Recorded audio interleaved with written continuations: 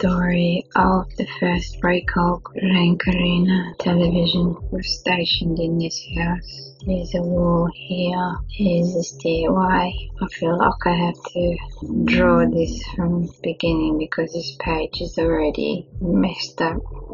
I was sitting here, my brother was sitting here. We had a square tablecloth and I think we were eating special food Friday after school, after end of the week type of food because we weren't allowed to eat junk food. But on Fridays we, we had a, like a special a junk food, uh, allowed to have just one item from the junk food box thing, not a ritual, just a custom that dad created. There's a door here.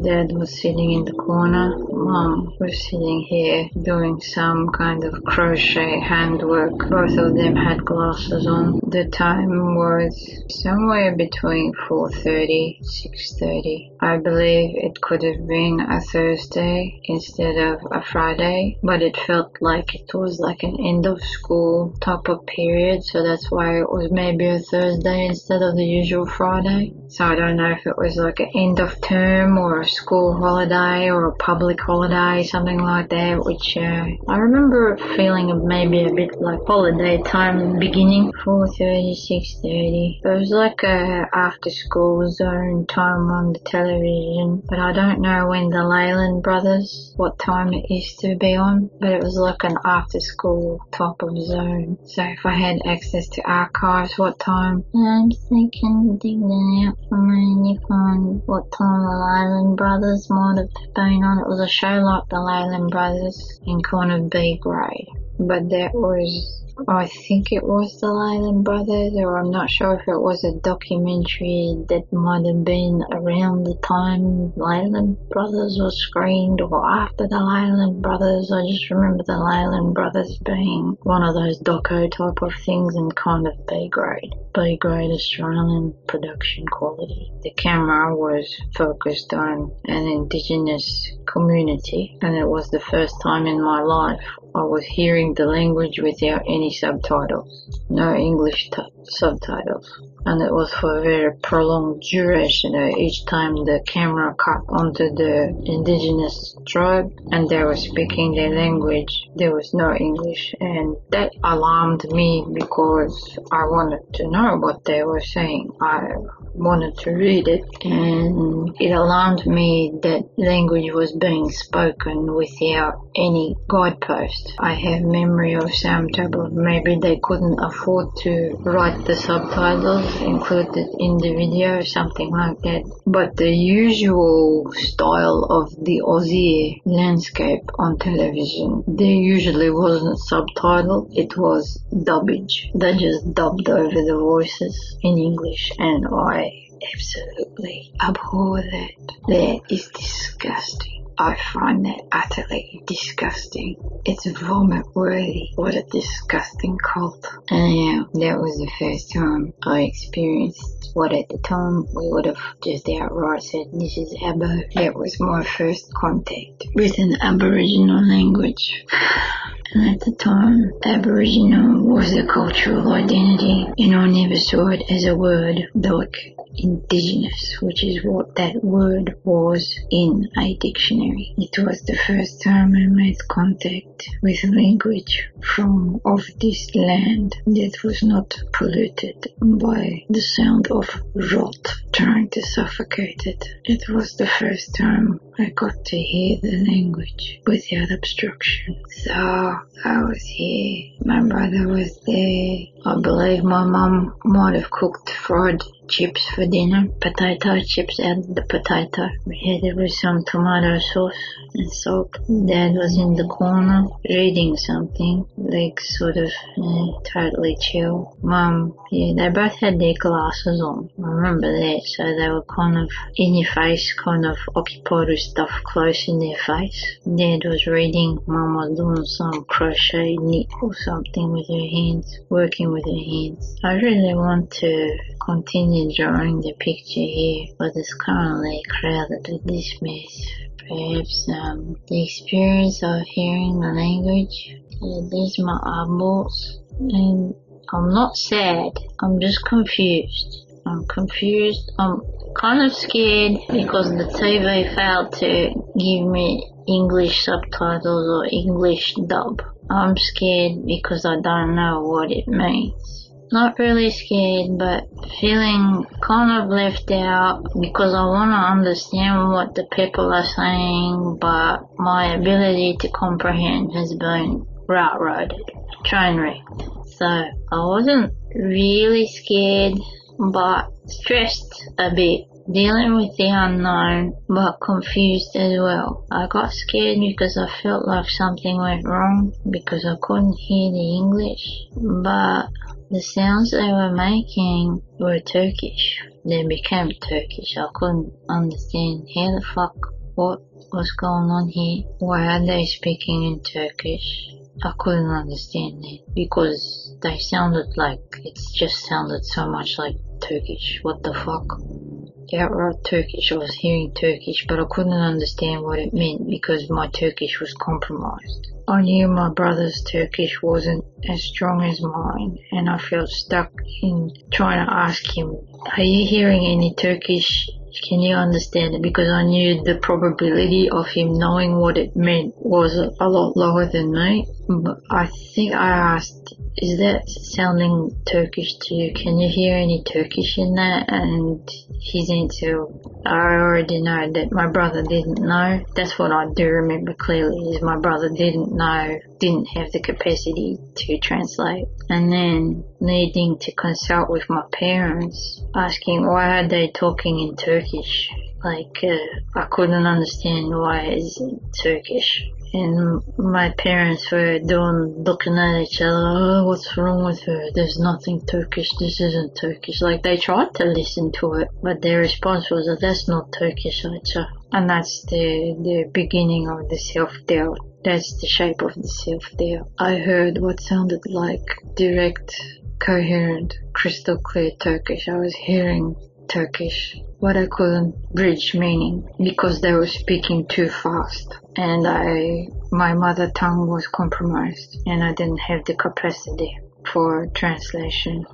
So mom and dad said that's not Turkish actually I think we're just imagining it. And then I believed them because suddenly the transmission just cut off. Very much like tuning into a radio exactly the same signal just uh, like the dial just went you're turning the dial just went and then I thought my parents were right because I, I couldn't hear the signal and then the, the language just morphed into something else and I couldn't hear it anymore. But then the tuning dialed back in and it clicked back in and it came back.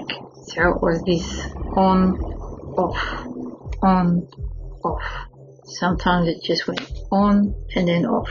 In hindsight, from what I know of it so far, quite possible the reason why I was hearing the Turkish drone come on versus switch off, wax on, wax off, would have been because there actually was a speaker in there. Uh, it would have been caused by a specific individual. That's why if Mumsy, if you can uh, find the actual episode or the actual show that featured that specific tribe on TV, during what was it, 1984, 86, but before 88.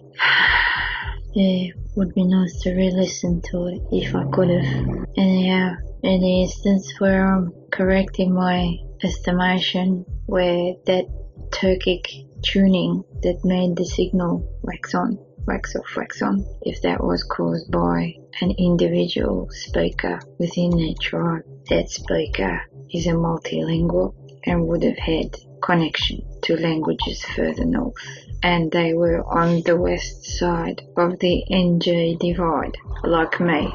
They came from the west, the west of the Philippines. So uh, quite likely they knew Bahasa, Indonesian language, Malaysian, or their culture, their tribe, their language located in the top end and that top end had extensive back and forth with uh, land further north and arm west of the NJ Divide. I'm calling that the NJ Divide. I'm west of it, that obviously curls into China, possibly hugged by the Himalayas, that W, type of thing as well. That would, I can see the W working on that. There's the NG in Australia.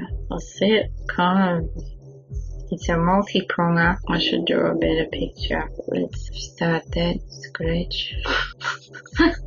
This map of Australia, that's a pretty bad one. Alright, there's the NG, there's the divider, and I'm west of it. Alright, now the NG migration is kind of on this half of the continent, but the division is not just a straight line. It's like the ants, the nests it's branched out. It's it's got a that kind of meander. It's got a meander dominating the eastern side. My stream that I'm coming from, the languages are kind of over here. However, some did manage to cross over and end up here on this side like that. In that instance, that's the language being transported by boat. It's not a natural passage with consent. It's, it's not with consent, that one. It otherwise wouldn't have naturally gone that way. I don't believe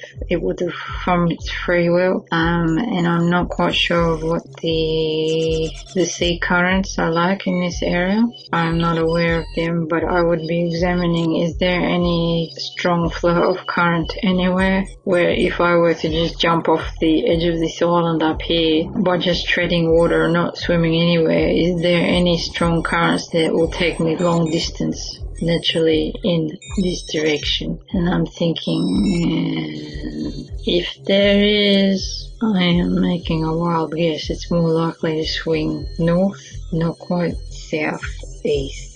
I kind of just see this passage, this type of passage where you've got this great divide that you shall not pass, where the ends of the world have finally met and kissed each other. This type of crossover I don't perceive as being a completely natural journey, but it could have still shaped the outcome through wind patterns as well, where the boat sails, so therefore the wind would be uh, having some influence. Uh, some languages move like that, but then there's these other ones that also traveled further, further south from the north.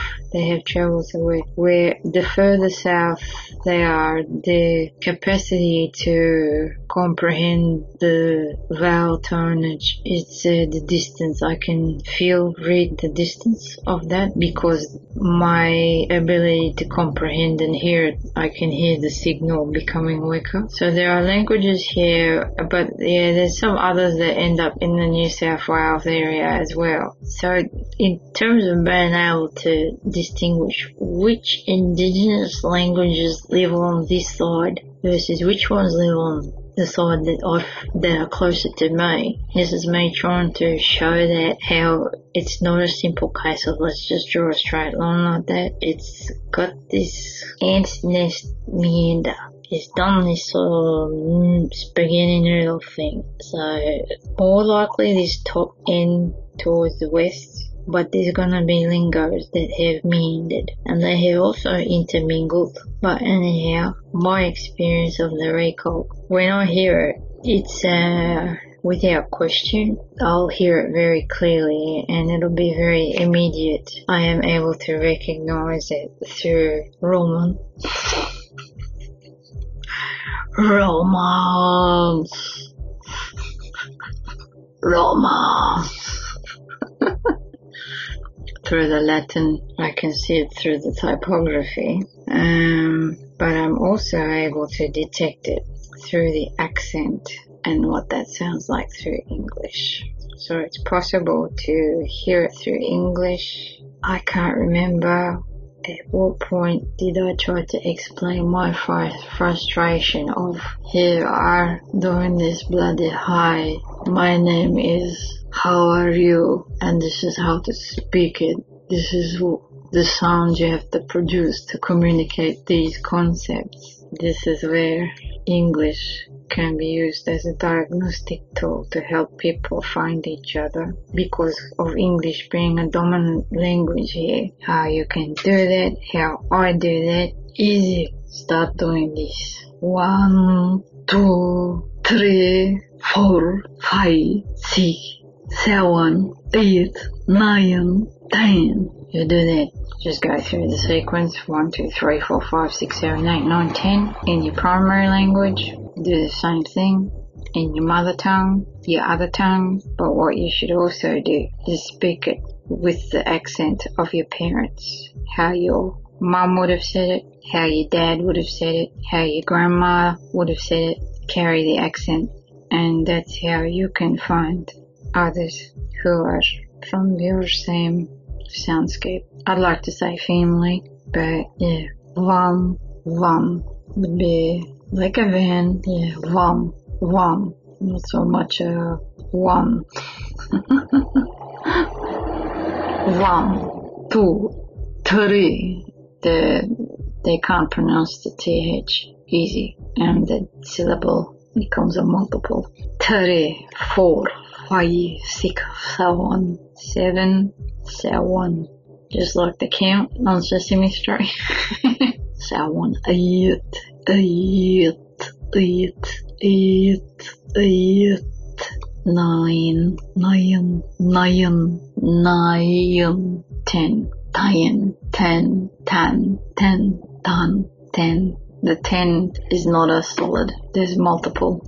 With that particular, with the ten, there's a multiple. If my accented version of one to ten sounds close to how your parents would have spoken, spucked it on this land, yeah, your language is close to mine, more likely to experience recog that is more dense rather than the sporadic every now and then. And for me, when the cognition is multiples and multiples where it's just constant, as I experienced it on the television that day with the indigenous lingo, when it happens, when this density is really large, and the recog is happening in super large chunks and I'm getting full on actual sentences where I can't understand the meaning but the passage of the sound is just unmistakably Turkish to my ear. The proximity, your proximity of your language is closer to me and where I'm coming from we have shared the same passage. We've travelled the same terrain. We've had a common passage and we probably have shared similar same turf.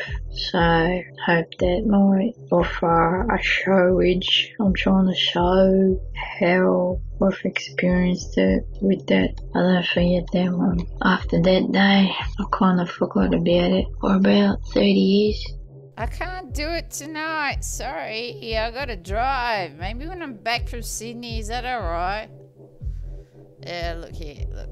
Will this make you happy, cunt? Here's my pussy. Sitting on my telescope. Here I am grabbing it by the pussy.